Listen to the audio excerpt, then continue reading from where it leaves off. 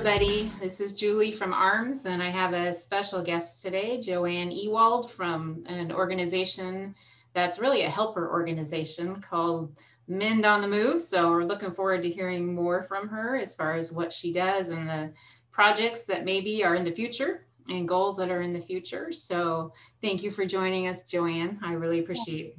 Thanks for having me, Julie. Yeah, it's fun to reach out. I think I, I first saw you on Instagram, I believe. Um, and what I what I do is try to reach out to organizations that you know are, are in our industry or helping survivors in some way um, and get them featured because it's just you know we're all on the same team, right? We're all a network, and it's important to get the word out. Yeah, great. Well, why don't you start uh, telling us about Mend on the Move? Um, maybe a little bit of a history as to why you started it or what caused you to want to start it and and what you do. Sure, I would love to do that. First of all, I think it's amazing that you found me being on the Pacific coast all the way to Detroit. So that's pretty amazing in itself. But um, yeah, so what we do and why it's Detroit oriented is why it makes so much sense in Detroit is that we hire survivors to create jewelry that's made from salvaged auto parts. So we work with a lot of local manufacturers and suppliers who donate the parts to us, which makes sense being in Detroit. Mm-hmm. And um, that's what that's how we make our jewelry. And um, people here just really love it because it's so Detroit. Yeah. Um, working with the the suppliers and manufacturers. And it, but for our survivors, it's especially meaningful because it provides them with a safe environment to work. Mm-hmm. It provides them obviously with a paycheck, but also an environment where they feel um, supported. They're with like minded women that have been through similar trauma situations. Um, they are, are, treated with respect and dignity. And um, most of all, we really just want them to understand that they have something valuable to contribute to this world. They are here for a reason. And that's really what um, just making the jewelry is starting to help to help them realize, build their confidence and realize that they have something to offer. Mm. And it's just wonderful to see women come in the door and, and just in even like uh, three to six months' time, see the transformation and that confidence and see them really um, just grow into the skills and talents that they have mm. that they didn't even know they had. Right. So that's really a, a, the beautiful thing about Mend. Um, how it all started was um, I'm a survivor myself. And um, as a part of the healing process, um, well, really, the healing process started with my faith mm. um, when I became a follower of Jesus, and that was at the age of 40, late bloomer. Wow. And um, I really hadn't faced my abuse much before that. A little bit in my 30s, I had totally ignored it because when I was brought up, you just didn't talk about those things. Mm-hmm. And um, mine was se- child sexual abuse. And um, so part my healing really began after my discovering my faith becoming a follower and just really realizing I had um, a lot of forgiveness to take care of. And once I was able to to forgive and let go of the um, people in my life that I felt um, were uh, that brought me to the place where I was, I was able to forgive them, and that just opened up just new opportunities for me, gave me such freedom and peace. Mm-hmm. And that's where Mend came from. It came from a place of healing mm-hmm. of God really just taking over and showing what um, what can really come from think something that's meant for really evil and the good that can come from it. And mm-hmm. really, that's what Mend is is really all about. God transforming me, and then me now t- passing that along to other women to be transformed. Wow, what a story! That's amazing. And do you, um, are the ladies that are with your organization, are they, I know they're all survivors, are they abuse survivors or trafficking survivors, or does that, do you differentiate between the two? It's really, we've worked with all types of survivors. We have worked with trafficking survivors in the past. Um, we've worked with, um, it's, you know, sexual abuse, it's verbal abuse, um, really any type of abuse. It's not just specifically survivors of human trafficking. Okay, okay. And I'm sorry to hear you have your own story um, of abuse, but you know, glad to hear what God turned it into, right? Because what Satan means for evil, he will he will turn. Um, and as we heal, you know, we can reach out then to other people. So that must mean a lot to the gals when they come on board to know that you also have your story. Absolutely, yes. Yeah. They we we understand each other mm-hmm. where we come from. Yep. You get it. What kinds of things? Um, I know you mentioned forgiveness was an important part of your healing. Were there other things that were important in your healing as you went along? Uh, I think the biggest for me was forgiveness because it had to deal with uh, my family, you know, really, which is really, really very traumatic when you have that mistrust with your own within your own family. So it was the forgiveness for me was huge, and it was able to me for me to get to another level. Um, I, you know, my faith in itself, uh, becoming a believer was huge, but after that, I still had a lot of work to do and it seemed like I just hit a major hurdle after the forgiveness mm. aspect. Yeah. It's so hard when you're, you know, we work with so many who have had childhood abuse to actually come around to understanding that God is a loving father because, you know, their parental figure, whether it was really their mother or father or uncle or aunt or whoever, you know, has been skewed, you know. Yep. By that. So, but it seems like you were able to accept that, you know. And as we've learned, mm. forgiveness is more about us than the other person, right? Oh, it's it definitely that was the one thing I learned too was that, and I do share that often, is that forgiveness wasn't necessarily for the people I needed to forgive. It really was for myself. Um, I couldn't heal without it and fully be used the way God wanted to use me if I had that burden still, I was still clinging to that burden. So um, yeah, it brings a lot of freedom, that's for sure. Yeah. Yeah. And are you still in touch with your family members? Um, my mother is deceased, and um, no, my stepfather is out of the picture. Okay. But, yeah. All right. Good to keep yourself safe, right? Yeah. boundaries. Yeah, for sure. Well, I'd love to see some of your beautiful jewelry.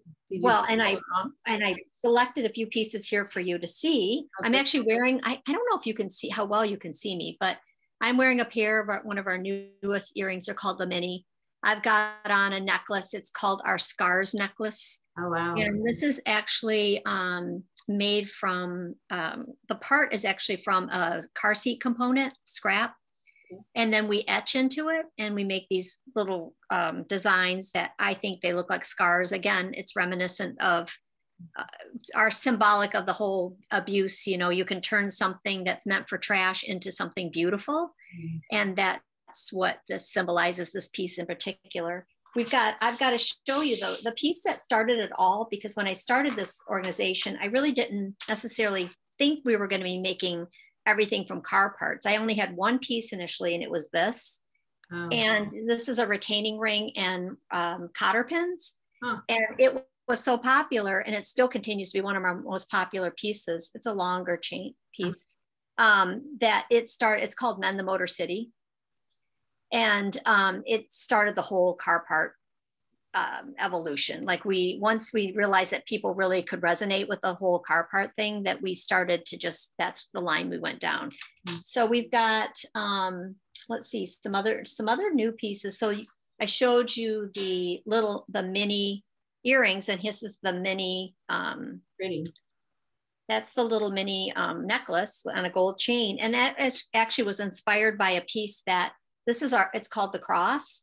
Wow. It's a circular cross. And this piece actually inspired the mini. Everybody just loved this so much. We made a mini version of it. Again, these are made with retaining rings. Okay.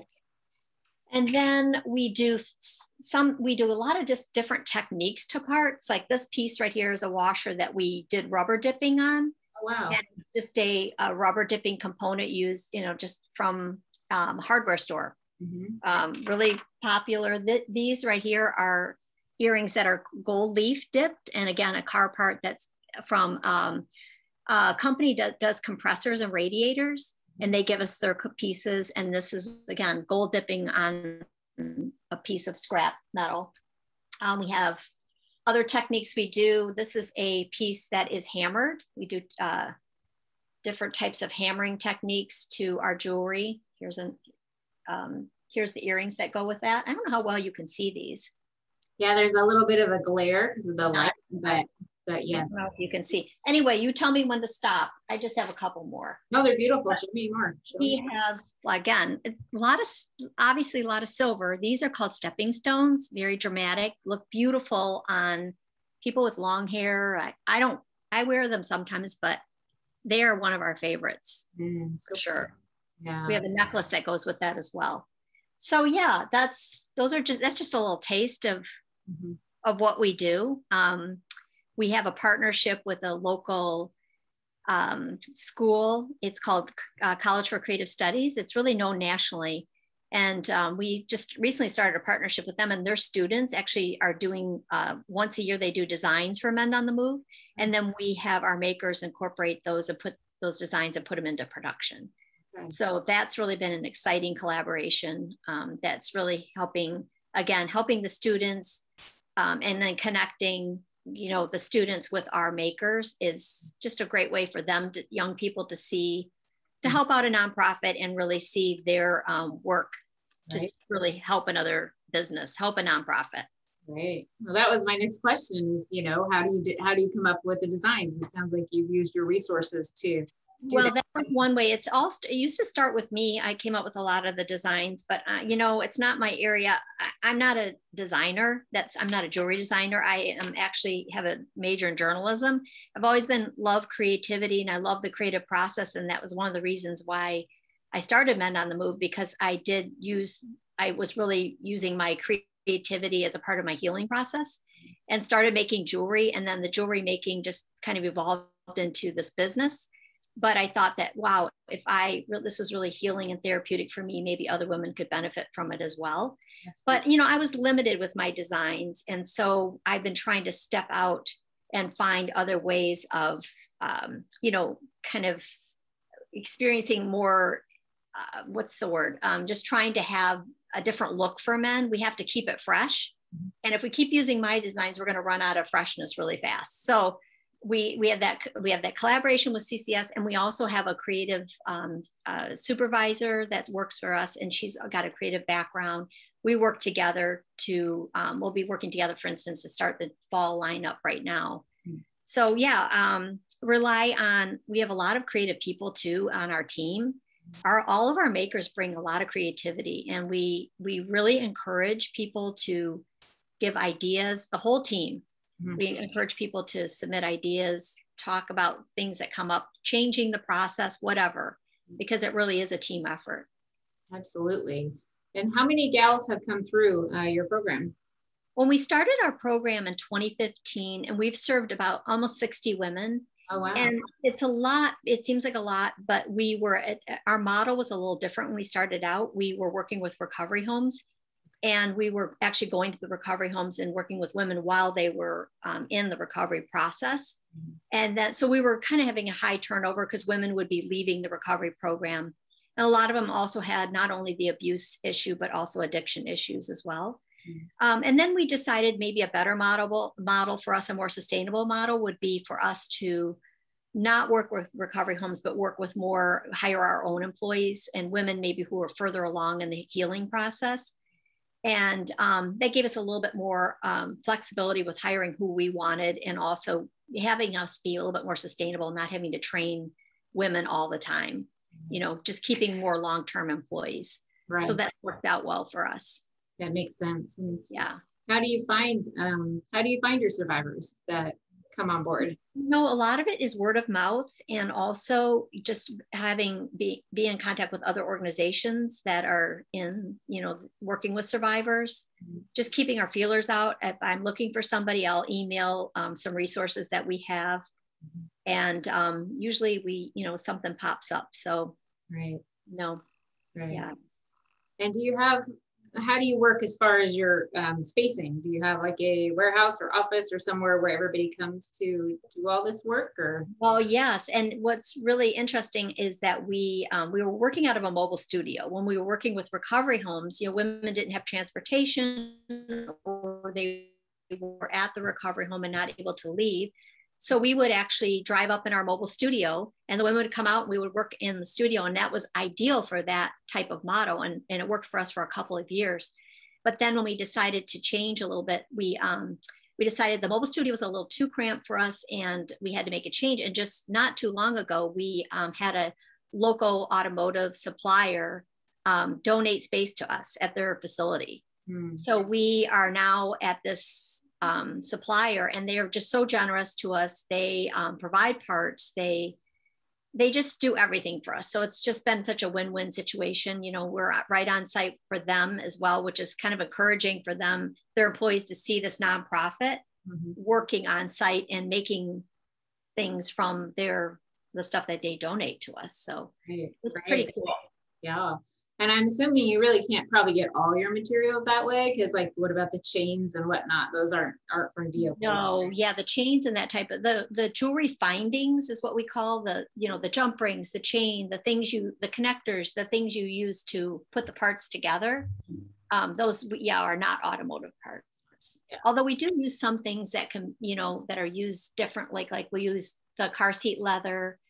Um, which we get donated, and we use uh, windshield washer tubing.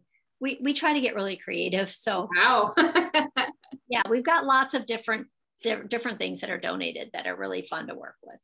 What are what kinds of things can you make with like the tubing and? Uh, well, we have a pair of earrings, and let me see. There, let me let me see if I can find them real quick. Okay. over here. I'll okay. take me to them. Maybe I do. Maybe I don't. Um, but they are made with a universal joint clip and then um, windshield washer tubing, but I don't have them here. Okay. God, I thought I could just pop right over here and show you those. I thought that would be cool. Yeah. But they're just a, they're on our website. Um, but yeah, they're they're really fun and it's they're called Circle of Comfort and really one of our most popular pieces. So okay, Circle of Comfort. I love that. Yes. And does, does every piece have a name? Sounds every like piece every piece has a name. And when you when someone buys a piece of jewelry from Mend, they will find the men the name on the back of the tag along with the part that it's made with. Mm-hmm. So they can really tell the story about Mend and share um, what it's all about. Wow, that's pretty cool. It seems to me your jewelry might make pretty good gifts as well. Uh, oh, absolutely. Because there's so much, there's just so much uh, um, about it. It makes it such a enriching gift because you know, it's, I love the whole symbolism behind, you know, using scrap um, parts and we are repurposing auto parts to help repurpose lives. Mm-hmm. And I love that um, symbolism. I couldn't make that up myself. That's definitely a God thing. I mean, how that came to be. Mm-hmm. It's just, it's such a beautiful analogy. Mm, it is beautiful from from trash to treasure, right? That's yeah. exactly right. That's that's that's awesome. And you know, there's another phrase that's kind of old, so this will date me, but you know, it says one man's trash is another man's treasure. And that oh always yeah. reminds me of God. Oh, I'm always like I I am I'm obsessed with auto parts. I'm like, oh my gosh, that's so cool. I bet you are. Looks at me like, oh, really? And yeah, yeah. like give that to me. We'll clean it up and we'll make something beautiful out of it. I can just see you taking a big old muffler and dragging it into oh, your, you know. Well, we haven't worked on a muffler yet, but okay. you never know. Smaller parts than that, right? You never know, right? Smaller parts for sure. Right. So, do you um, tell me about the process between the design and trying to find the right parts on the car that would work well for that design? I mean, do you know automobiles really well? No, we are we are just at the mercy of whatever's donated to us. Okay. It's not like we get to go out and pick and choose. We mm-hmm. just get parts donated from different organizations and then we make the most out of it, you know. Some parts we can use, some parts we can't. So it's just kind of a hit or miss thing. Right. Okay. Got it. Yeah. And as far as how it helps survivors, it's mostly in the job process, you know, in the healing of I think maybe working with their hands is helpful. I mean, I've, I found in my situation for healing that I, I do like cross stitch and stuff that you know there's something about your hands and using your brain to make something creative. I think that helps heal some of the pathways you know in my in my mind. So i wonder if that might be part of the healing for your gals. Oh absolutely. And i think that it's really powerful when women realize that what they're creating is actually being put out there um, as an empowerment tool. Mm-hmm. because not only do we make jewelry but we talk about abuse we talk about uh, survivors we talk about the stories. It's you know, it's more than just, we're not just a jewelry making company. We're a nonprofit mm-hmm. that really is our main goal is to serve, you know, survivors. Mm-hmm. So um, it's so empower- empowering for them to be a part of that process and to realize their job is actually making a difference mm-hmm. in the in the very thing that they're they're trying to heal from. Right, right, incredible. Yeah, I hear you know, there's a lot of women who um, have a lot of healing to do before they're ready to help others. But I think when we are finally ready, that it also ends up being part of our healing process that we're, bringing validation, you know, yes. and, and absolutely, you know, and healing to other people. So I think that's all part of the community that God built us to be, right? Yes, absolutely. Yep. We got to support one another. Definitely. Do you make any rings or is it pretty much just necklaces and we have rings where we are limited we have some rings right now i don't have them with me but they're on our site they're called skinny rings okay. and they're tiny little um, auto parts again they're car seat components mm-hmm.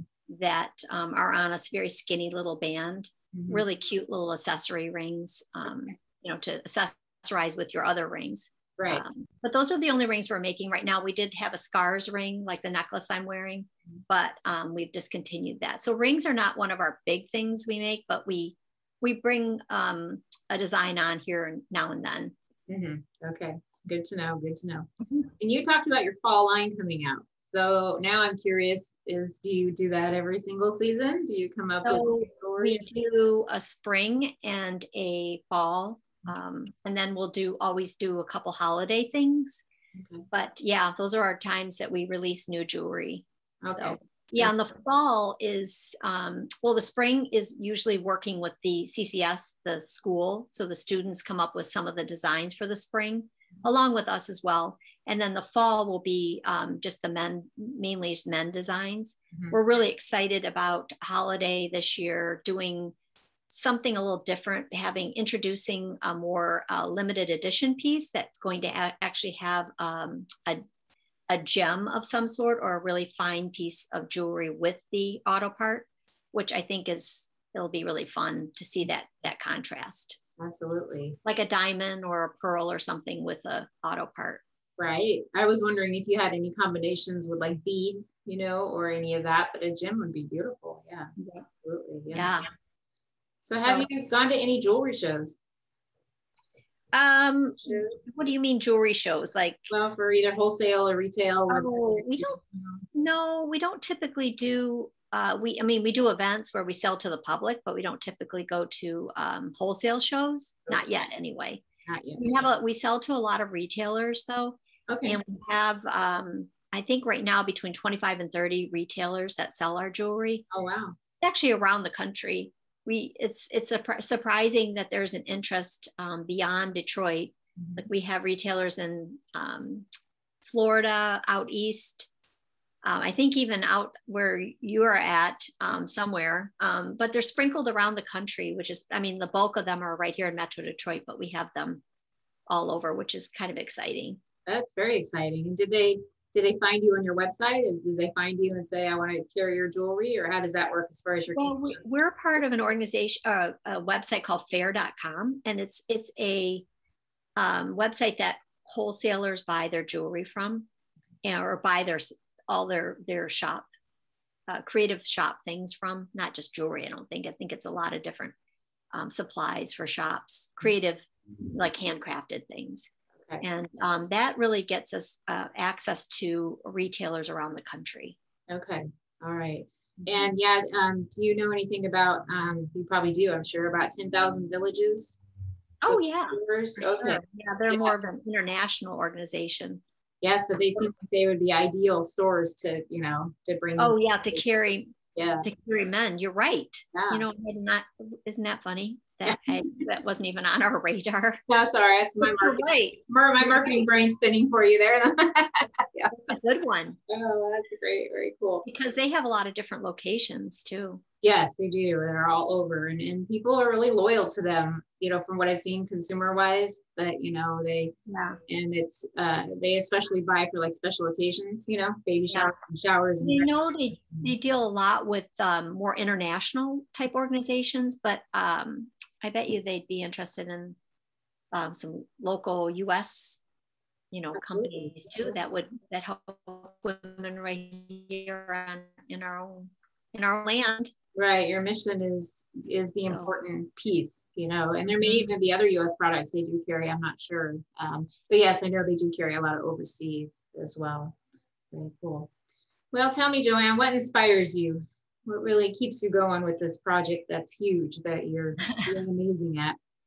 Um, you know, I was just asked recently. I was I was a part of a panel, and they asked me what that was about women being empowered and they said what empowers you and i thought well it's kind of like being inspired what empowers me is when other women are empowered oh. and that to me is like that's that's a gift i mean i just feel like when i see um, a woman uh, working for Mend that is coming into her own, her own like i can talk about a woman that works for us right now she's a she started in as a jewelry maker, but we found out she was also an amazing seamstress. And she didn't even really think too much about it. She said, Yeah, I make quilts and everything. But she actually started for us our whole line of leather goods now that we're we're we're um, creating. We create a, a, pouch, we create a clutch, we um, we did a pillow, we did a plant wrap. I mean, these are all because of this one woman who came into her own with her sewing and honestly it is given her i believe so much confidence mm-hmm. and just the ability to know that she's got so much she's got talent she didn't even realize that she could access you know and just seeing her come alive and be creative and come up with these products and everything is so inspiring and it it empowers me to think this organization is really doing what it set out to do mm-hmm. when i see things like that it just you know it's it's exactly what it's supposed to do. Mm-hmm. That's really that's wonderful. That's amazing. Yeah. What are your um, maybe share with us some of your future plans? You have goals for the organization? I would say our my biggest goal right now for the organization, and we're it's a work in progress, is we want to be more than an employment opportunity. We really want to to be a program um, that helps women long term. So our goal is really to hire a maker for a two-year commitment. And then during that two-year process, what we're trying to do is really work with the maker and and not actually our makers, even our women who are maybe in a higher up position, or like a more of a supervisor, supervisory position, to work with the women and discover what are their goals for the future and not maybe just career goals, but personal goals, spiritual goals, um, health goals, so that they can really um, just just recognize that the sky is the limit for their future you mm. know they don't have to be limited to anything they are in charge of their destiny mm-hmm. um, and so uh, i think that's that's really important to me is to make sure that women um, have a way and it could if it's an education if they want to go back to school if they want uh, you know a higher if they want to reach for another position a little higher at mend or if they even want to have employment someplace else, our board members are, you know, have expressed interest in being to help them help our makers or our employees try to find employment someplace else where they feel more fulfilled. Mm. So our goal is really for them to at Mend our goal is for our women to be happy mm. and to be satisfied and if that means being moving beyond Mend then that's that's that's wonderful too. Mm-hmm. Um, most recently, we had a woman leave us that I'm so sad about because she's been so important and valuable to us, mm-hmm. and she's been with us for four years, and she's worked as an operations manager, um, and she's a survivor. But she got an opportunity to work at another company that's paying her, um, going to pay her so much, so much is what she's going to pay her what she deserves, more than we can afford right now with our little budget um, and I'm so happy for her because that's what we're all about. We want our women to grow. We want them to. Um, I'm going to cry when I think about it because I miss, well, I miss. I'm going to miss her, but yeah. we want our women to grow into um, um, the roles that they deserve. Right. And, she's a single mom, and it's going to be a perfect opportunity for her. So, uh, so happy. That's wonderful. And you know, you never need to do that on this podcast. it's it's very fresh right now that she's leaving. So yeah, absolutely, I, I hear it. But you know, at the same time, that shows me, you know, your heart. Um, and you are, you know, you're that you're that seed planner You know, you're pulling them out of the muck and you're helping them to be better and to heal and to do what they need to do and then to move forward. There's no shame in that, you know. Oh, whatsoever, Actually, we have we have a uh, necklace and earrings called sowing seeds. Oh, you do. That's exactly what we're all about. You know, we're sowing some seeds here. Yeah. And hopefully, those seeds are going to they're going to grow into something really beautiful. Yeah. And I think they will. I think you'll hear about it in future years and you never know when they might come back, right? You can come back. Oh, yeah. Know how much that you. And if they don't, that's okay too, because I know they're going to good places. So, right. And they're paying it forward as they go. Exactly. Sure. Yeah. Exactly. Wow. Very yeah. cool. Well, thanks for meeting with us today. I'm really excited oh, yes. Learn more and I will put up, you know, your website link and shop so people can go go look at all your wonderful creations. So um I, am looking forward to seeing some of those. So oh, great. I, I hope you do check it out. I hope everybody listening gets check it out because um, the pieces are made with a lot of love and care. And uh, yeah, so yeah, thank you so much for having me. I did not mean to get all teary eyed in front of everybody, but you know where my heart, you know where my heart is now then. Yeah, and it happens to me as well. So I totally understand. Yeah, I agree, you know, I, I, get it. So and I didn't yeah. ask you ahead of time, I'm sorry, but would you be comfortable closing us in prayer? Oh, absolutely. Okay. Sure oh, Heavenly Father, I just am so grateful for this opportunity. Um, I am grateful for Julie and her organization and the um, her just quest to really um, look, search out and really discover organizations that are doing the work that you put on our hearts, Lord. Um, and thank you. Just, I just ask that you just bless both organizations, help us to continue to do your work and spread the love and your goodness in any way we can, plant our seeds. And um, we just pray that this uh, broadcast goes out to people that just really need to hear what we've said, what we've said and shared today, Lord, in your name. Amen. Amen. That was beautiful. Thank you so much, Joanne. Thank you for being our guest. Oh, thanks for having me, Julie. And um, thank you, everyone, for listening. Yeah. Yay. Mm-hmm. All right.